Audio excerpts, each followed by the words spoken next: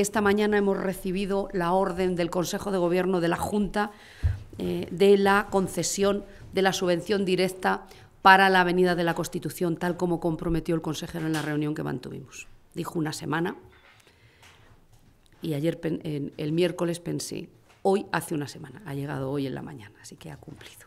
Nosotros en la primera reunión ya dijimos que íbamos a mantener una segunda reunión que será en esta primera quincena de septiembre, una vez analizados eh, las encuestas con los técnicos y todos los aspectos, eh, ya nos reuniremos para plantear eh, la decisión municipal. Hay algunas cuestiones de las que plantean que yo las veo de muy difícil ejecución. Por ejemplo, plantean una serie de plazas de estacionamiento ya predeterminadas en la calle Real que yo me imagino, vamos a poner que sean 25 plazas de estacionamiento predeterminadas. Imagínense ustedes que si acceden a la calle real en la carga y descarga más de unos 300 vehículos, porque acceden en total 500, me imagino que 300, esto es una estimación, eh, me estoy imaginando la cola de vehículos en la Plaza Mayor porque claro, son 25 los que tienen lugar para estacionar.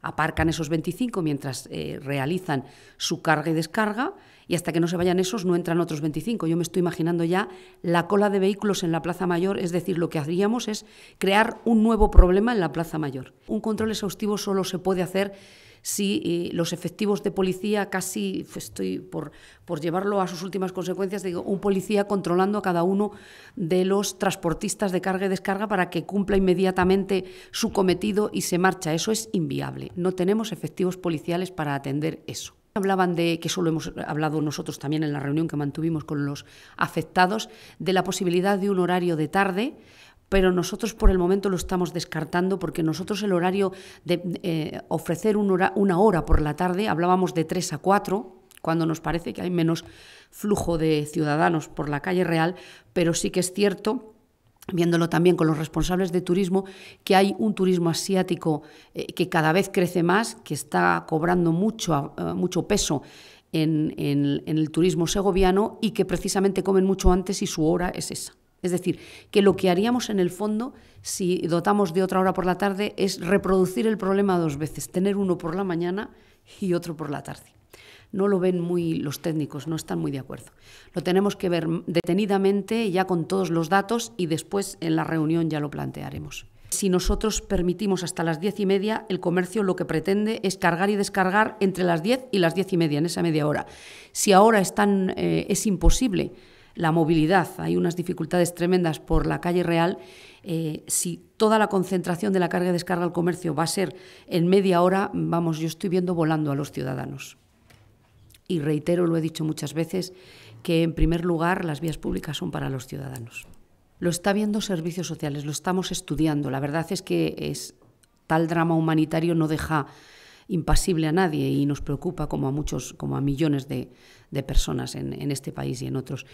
Entonces lo están viendo los servicios sociales porque eh, claramente las competencias no son municipales, pero estamos viendo en qué medida el ayuntamiento podría cooperar con alguna infraestructura municipal, como por ejemplo el, el, albergue de peregrinos en Zamarramala y también sirviendo como mediador, como intermediario para poner en contacto con familias que estén interesadas en acoger o con ONGs o demás.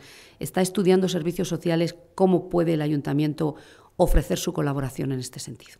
Lo que no puede ser es que por adaptarnos a las demandas de los grupos políticos se dificulte los procedimientos habituales eh, de los asuntos municipales, porque hay muchos problemas que resolver, muchos proyectos que plantear, y, para eso está todo normado y reglado. En ese sentido, decir que es verdad que llevan poco tiempo en el ayuntamiento y que todavía tienen que familiarizarse con las dinámicas municipales, las desconocen. No me imagino a Juan Luis Gordo, a, su vez secretario del Partido Socialista a nivel provincial, dando su rueda de prensa aquí. Una cosa son los partidos políticos y otra las instituciones.